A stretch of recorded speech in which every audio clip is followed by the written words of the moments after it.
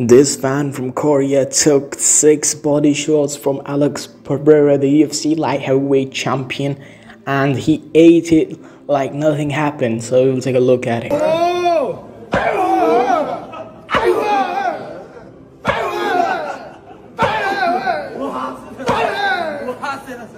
예, 박수 한 번. 예. 아, 형 내가 수업 불안 삼키고요.